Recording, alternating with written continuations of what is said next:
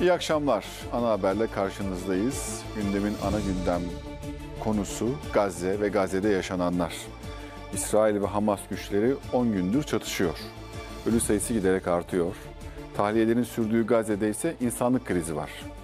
Hava, kara ve denizden bombardımana tutulan Gazze'de su krizi yaşanıyor şu an.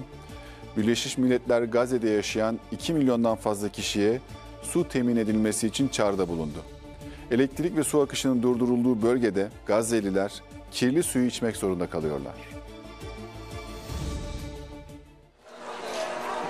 Gazze'de su tükendi.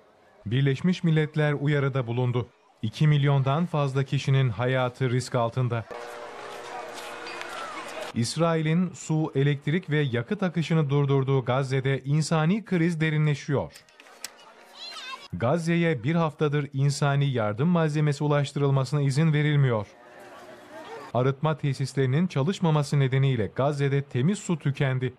İnsanlar kuyulardan çıkarılan kirli suyu kullanmak zorunda kalıyor. Birleşmiş Milletler İsrail'in uyguladığı tam ablukanın ölüm kalım meselesi haline geldiğini belirtti. 2 milyondan fazla kişiye su temin edilmesi için acil olarak yakıtın Gazze'ye ulaştırılması çağrısında bulunuldu. Aralarında çocukları da bulunduğu Filistinliler şiddetli sıvı kaybından ölümle burun buruna.